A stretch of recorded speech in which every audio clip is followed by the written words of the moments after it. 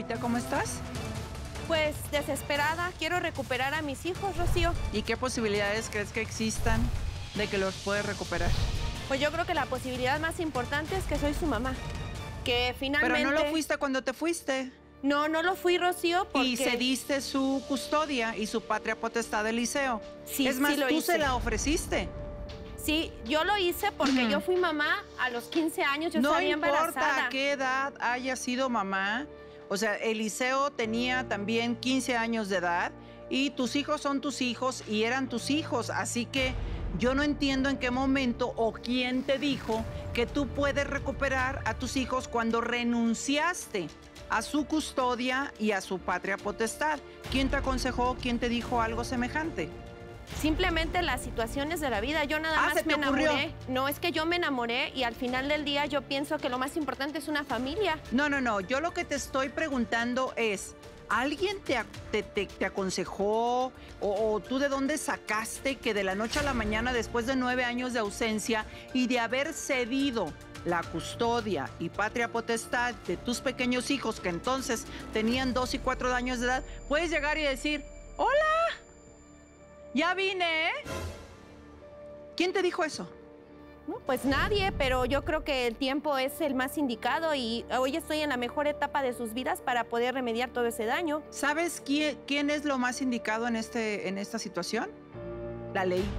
Y la ley dice, pues que no lo puede recuperar, que si ya lo cedió y que si ya los niños sufrieron un daño, porque lo, sufrieron y bastante fuerte, la de seis años, tu hija, que es la mayor, sufrió depresión, sufrió ansiedad, ataques de ansiedad, estuvo ya en terapia porque la niña eh, de pronto se despertaba en la noche y recordaba, supongo, la escena que a los cuatro años le dejó, la dejó marcada de cuando tú te estabas yendo y, tu papá, y su papá estaba suplicándote que no te fueras y que ellos se quedaron llorando, Mario. Tú imagínate nada más cómo reparas eh, esas heridas semejantes, esas marcas psicológicas que ahorita vamos a hablar de ellas, Fraga, a, a- a unos pequeñitos. Ahora, legalmente, pues yo no sé si se pueda recuperar la custodia, pero hasta donde yo me quedé, no. Sí, las huellas que dejan este tipo de actos justo le causan a los menores este tipo de padecimientos a futuro. El peor eh, error que podría haber es justo que tratar de ver este acercamiento porque de nuevo revivirían todo el estrés que ya sufrieron y para eso la ley le impide luego a los padres que ya otorgaron la patria potestad y guarda y custodia regresar a ellos. Tendrán que hacer pruebas psicométricas dentro del DIF para ver si es posible que se acerquen. En cuanto a la mayor de edad, la menor que tiene más edad, todavía pudiera decidir si quisiera conocer a la madre por la edad que tiene. Pero la más chica, pues bueno, ella está impedida para hacerlo hasta en tanto una autoridad no le permita ver a su madre biológica. Esto lo hacen con la finalidad de no causarles tantos problemas a futuro. Y si el padre que actualmente tiene toda la tutela y patria potestad se niega, así tendrá que respetarse. Pues qué bueno que tocaste ese punto, porque precisamente es algo que alega eh, eh, la nueva pareja de Eliseo, que es Clara. Resulta que Clara ya, eh, ella acogió a los niños, Fraga, desde que tenían 5 y 3 años respectivamente. De hecho, el menor es un niño, es un varón, la mayorcita es una niña. Y pues los crió como si fueran suyos, son sus hijos. Ella de hecho ahí está y lo dijo en su testimonio. A mis hijos ni se le acerquen. O sea, y los de veras los defiende con uñas y dientes porque los ha criado como tal. Entonces, ya se las ingenió. Primero, pues terapia, ¿no? Y después se las ingenió para sigilosamente preguntar, a ver, ¿qué sucedería si de pronto su mamá aparece y eh, los quiere ver? Y ambos contestaron que, no quieren saber nada de ellos, de ella. Que el niño, de hecho, dijo, para mí esa señora está muerta. Y la niña dijo que un rotundo no, que no tiene el más mínimo interés. Fraga, pues eso se tiene que respetar legalmente, pero psicológicamente, pues también yo creo que tenemos que ser conscientes de ese daño, ¿no? Por supuesto, no puedes forzar a tus hijos a que te quieran cuando estuviste ausente tanto tiempo y que también ah, tú no tuviste un acto de compasión por dejar cuando los dejaste y que ellos cómo iban a afectarles eh, en la cuestión psicológica y emocional. Eh, todas estas situaciones son muy comunes, el abandono tanto de papá o de mamá. Y lo mejor que eh, ahorita estoy escuchando en esta historia es que hubo una figura sustituta materna. Sí. Dentro de lo que cabe. Y súper amorosa. Sí, eso lo escuché que hasta dijo mis niños. Sí. Eso es muy bueno. La verdad no es este, enjuiciarte, pero sí hiciste un daño que muchas veces es irreparable. Lo que necesitan, pues tus hijos, es mucha contención emocional a lo largo de su vida. Y afortunadamente existió la figura materna sustituta, que, que en este caso pues es Clara. Ahora, no hay poder ni legal, ni humano, ni psicológico que pueda obligar a unos niños a que quieran a alguien que no quieren querer. O sea, porque ya la mamá ya es una desconocida, la mamá biológica, ¿no? Y ellos reconocen como única madre a Clara, que se lo ha ganado. Sí, primero, en el momento en el que pierden la patria potestad, es decir, la facultad de ser padre ante un menor de edad, ya no tienen ningún elemento legal para poderse acercar a ellos. Todavía exigir algún tipo de tutela cuando todavía tienen patria potestad pudiera existir. Pero en este caso, en el momento en el que se renuncia o se transmite como lo fue en el pasado, ya no hay ninguna posibilidad de acercarnos. Lo único que sigue, si así lo desean, pues es tratar de entablar alguna conversación. Pero de nuevo, una autoridad no lo permitiría porque están muy chicos y podrían tener otra vez afectaciones a futuro. Y si ya hay un antecedente de que ellos tuvieron afectaciones, ningún juez o autoridad permitiría el acercamiento. No hay poder humano, en verdad. Ahora, Lupita, ¿qué, qué, pasa por tu cabeza de pronto? Eh, o sea, de verdad que yo no entiendo qué te pudo haber pasado para que hayas abandonado a tus hijos de esa forma por irte con un hombre que según tú dices, pues era millonario. Más que ser millonario, yo me enamoré. Yo perdí a mis padres, Rocío. ¿Te enamoraste? Sí, me enamoré. ¿De sus millones? No. ¿De él? De él. Él es 18 años más grande que yo, más sin en cambio, él me llenó de detalles, de cariños, cosa que Eliseo no me podía ofrecer. Entonces te enamoraste de su dinero, no de su persona. No, me enamoré de su persona, de su ah. esencia. ¿Y por qué no estás con él? porque él me abandonó, él me dejó, al final del día estoy pagando lo que más hice. bien, más bien, a ver, te abandonó, te dejó, porque lo exprimiste. Porque él apostaba a los te gallos. quedaste como, ¿eh? Él apostaba a los gallos y, tú al le final del día a poner negocios todo. que. O sea, ¿tú sabes cocinar? Pues así mucho que cocinar, pues no. Ah, mira, entonces, fíjate. ¿Qué negocio quieres poner? Un, un restaurante, fíjate. ¿De verdad? ¿Cocinas bien? No. Pero sí sé, sí conozco la pimienta y la sal. Tampoco sean exagerados, ¿no? O sea, sí sé partir cebolla. O sea, ¿a quién en su sano juicio se le ocurre decirle al marido, ponme un restaurante? Ahí va el marido. Vendió cuatro terrenos para montar un negocio. ¿Cuánto tiempo te duró el negocio? Nada más duró medio año porque no funcionó. Yo sé que tres meses y no funcionó porque tampoco administras. Pues no. Ah. Pues no, porque me gustaba gastar, me gustaba la ropa buena. Yo tuve que venderla toda para ahorita solventar mis gastos. Claro, casita en Acapulco también. Sí, también tenía. Que lo hiciste, que compró una casa en Acapulco. Con un dinero que, lo, que obligaron al papá de Toño, ya cuando estaba en su lecho de muerte, aguas, ¿eh, señores? Pídanle a quien quieran que les den ese momento que baje alguien iluminado y que les impida firmar. En su lecho de muerte, el hijo, aconsejado por ti, y desmiénteme si no, Lupita, le firma otro terreno, cediéndole las tierras que el señor ya había dispuesto para todos sus hijos, no nada más para Toño, ¿no? Y Toño, pues se quedó con todo. Y de ese todo, pues compraron una casa en Acapulco, misma que mire lo que es el karma. Como no la usaban, fue invadida y ahora sáquelos, la dejaron perder. Así que Toño se quedó sin nada. Bueno, creo que con un departamento, ¿no? Sí, teníamos una casa grande, la tuvimos que vender porque nos fuimos a la quiebra y compramos un departamento muy pequeño. O ah. sea, Ah, Yo ahora sí que yo no lo obligué, él solito. Claro. Él tú qué solito tan- se enamoró y yo también me enamoré y pues Claro. desgraciadamente fue responsabilidad de los dos. Y más sin en cambio Toño fue el que me dejó a mí la responsabilidad porque además tuvimos otro hijo que se a llama Toñito. Toñito. Sí, fíjate, abandono a dos. Entonces repongo los dos con uno, con Toñito, que tiene ocho años, que este.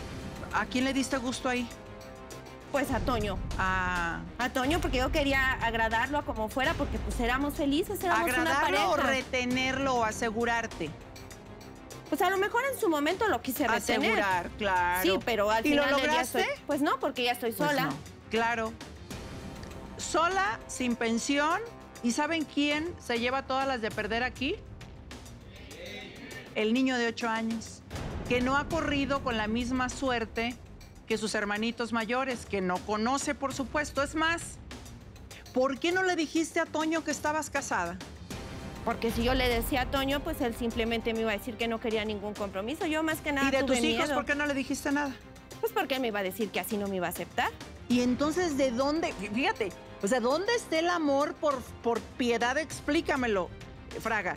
De verdad estoy hasta impactada porque muy pocas veces escucho este tipo de casos de las mamás. En papás de repente se escucha más en los hombres. Es más común. Es más común, pero bueno, cada quien tendrá también que pagar las consecuencias de sus actos, como ya lo estás haciendo.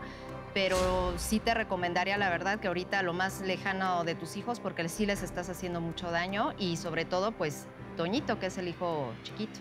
Claro, pero además hay alguien que está no asustada ni preocupada, aterrada.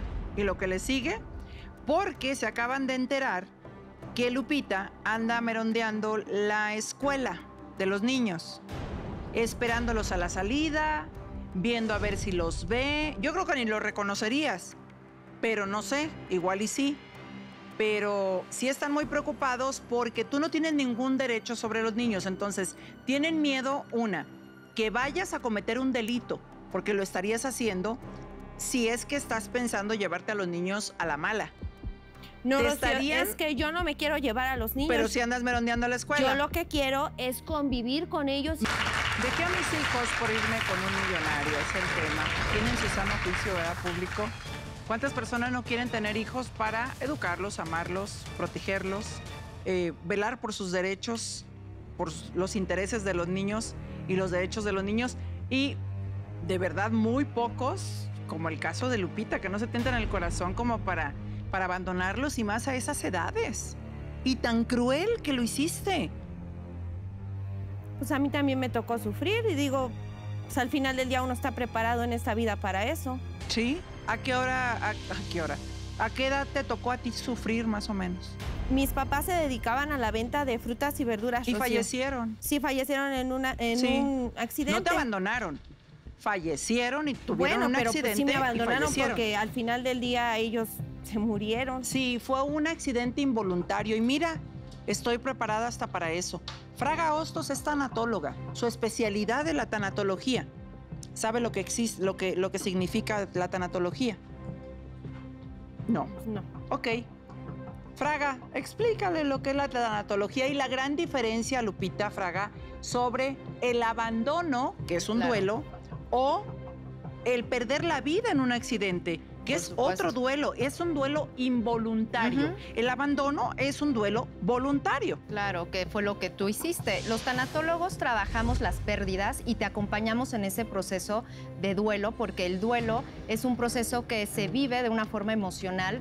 Una de dos, o te duele o, le- o sufres. Entonces los tanatólogos es- somos terapeutas del duelo y acompañamos a estos pacientes para que su dolor sea gestionado de la mejor manera.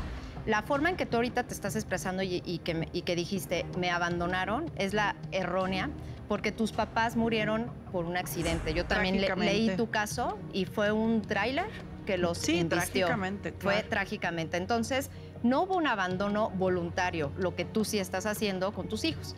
Entonces, cuando tú estás viviendo un proceso de pérdida, primero hay que tener muy consciente qué es lo que perdí, por qué lo perdí y cómo estoy asimilando esa pérdida. Obviamente, tú no estás viviendo un proceso de duelo porque pues no, por lo que escucho y veo, pues no te compadeciste al abandonar a tus hijos. Pero los tanatólogos somos los indicados especialistas para acompañar estos procesos de pérdidas. claro. Ahora, tú no, tú no regresaste a buscar a tus hijos porque eh, hasta me cuesta trabajo decir tus hijos. Porque no se ha comportado, no te has comportado como una madre. Pero no fue por tu voluntad. No fue la necesidad de decir, chin, la regué, ¿qué hice? Que me perdonen, ¿no? O sea, ¿qué estará haciendo de ellos? ¿Qué sé yo? Sino porque te abandonó, Toño. Bueno, pues es que a- al final del día él me dejó y yo pues ahora ya me siento sola porque no tengo a nadie. Ah, y ahora quieres que Eliseo entre al quite. Tienes a tu hijo, Toñito. Lo que hiciste dejar, a ver, ¿cómo está eso de que se lo fuiste a ofrecer a la hermana de Toño, quien tampoco sabe que tienes dos hijos, que estuviste casada? O sea, nadie sabe, ni Toño ni su familia, que tú estuviste casada con Eliseo y que tenías una familia y que abandonaste dos hijos. No lo saben. ¿En qué cabeza cabe? ¿Por qué se lo fuiste a ofrecer por dos mil pesos? Pues cuando Toño se fue yo me quedé sin dinero, sin nada de dinero y yo estaba muy desesperada porque no tenía yo para darle de comer a Toño. Entonces los niños para ti se venden. Pues no, porque yo acudí con mi cuñada y yo le pedí ayuda y le dije que si me podía prestar dos mil pesos para yo poder invertir en lo que se había dedicado mis padres, a la fruta y a la verdura, comenzar a vender en la casa pues un poquito para poder solventar los gastos, pues ahora sí que de- principalmente de Toñito y míos, porque yo ya no quiero volver a cometer el mismo error, aunque yo nunca sentí el instinto maternal. No me queda hijos. claro. ¿Y para qué tuviste tantos hijos? O sea, tres hijos y no tener instinto maternal. Pues entonces, Pues es que entonces no tuve la información necesaria. Yo era una niña, Rocío, pues ¿qué podía yo hacer? ahora, ¿qué vas a hacer? Pues ahorita yo le estoy echando ganas al puesto. Yo como quiera ¿Y ir en dónde la vives? casa. Estoy viviendo en Toluca, ahí en el departamento que me dejó Toño con, con Toñito.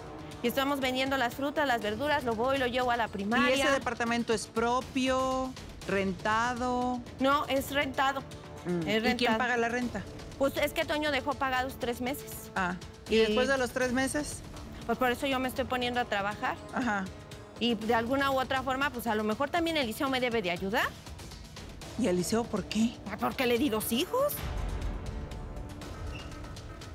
A mí se me hace que alguien te aconsejó. Pues nadie. Nadie. La vida. Mira, cuando tú abandonas a un menor de edad, y en este caso fueron dos, y sigue siendo su madre, yo supongo, según la ley, que la que tiene obligaciones eres tú con los menores de edad. Es decir, más bien, la que tiene una deuda considerable de pensión alimenticia de nueve años, pues es Lupita, ¿o no? O también pierde esa deuda cuando cede la custodia y la patria potestad. No, como bien lo dices, el hecho de cuando se cancela o se pierde la patria potestad y la guardia de custodia, los derechos alimentarios siguen existiendo. Ah, este tipo de deuda. derechos son irrenunciables. Es decir, ni el hijo ni los padres pueden renunciar a este tipo de derechos y obligaciones. Por lo que, bueno, a estos menores les debe todo el tiempo del que no se ha encargado de eh, manutención. Quiere decir que ella sería quien tendría la deuda con Eliseo.